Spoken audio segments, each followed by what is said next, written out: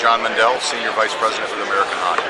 John, Honda has quietly been taking over the, the whole uh, environmental stand. Toyota have, seems to have a lot of presence, but you guys are in it quite, uh, quite, quite a bit apart.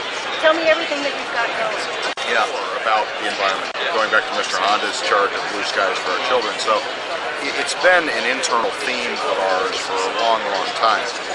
Having said that, we continue to push on a lot of different fronts, whether it's uh, the first electric vehicle, first natural gas vehicle, the cleanest natural gas vehicle, uh, hybrid, first hybrid with Civic and now uh, Accord, uh, to fuel cell technology. So we push on a lot of different fronts.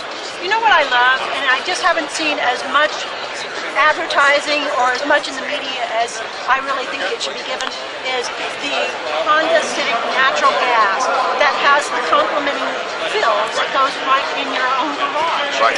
And um, you know, we just expanded that. We, we tested it. We tested it for a long time, but then we rolled it out quietly in California last year. We just announced sale now in, in New York uh, this fall, and um, we're looking at other markets to roll it out. But it is a, a phenomenal system. Uh, it means essentially you, you never have to go to the gas station. It's a home refueling device. It works off your natural gas line in your house, refuels your car overnight. Uh, very simple to use.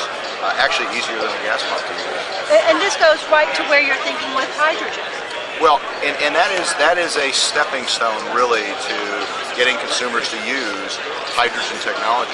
So refueling, um, refueling at home or refueling with something other than a liquid um, is, is a big step toward the hydrogen island. What do you need?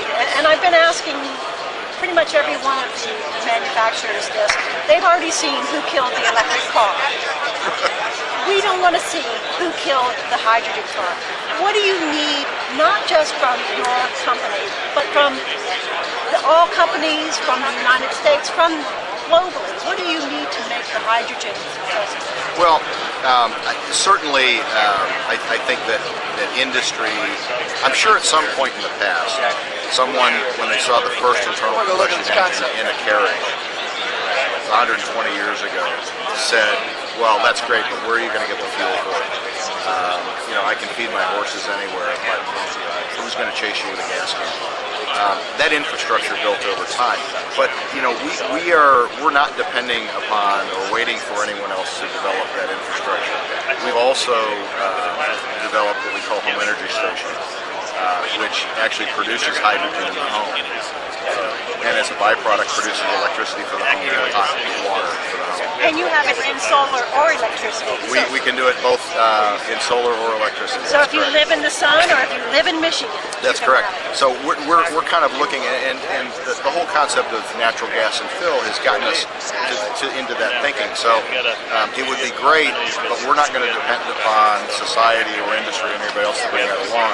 We're developing a parallel path that would allow people who want to use hydrogen uh, as, as a mode of transportation uh, to be able to produce it uh, at home, very similar to, to Phill.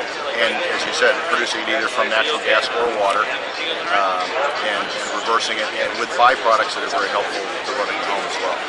You know, General Motors has been in the, in the news over a year now with this Nissan Renault merger thing. Um, I happen to think that you have a lot more synergistic values with General Motors than perhaps Nissan and know.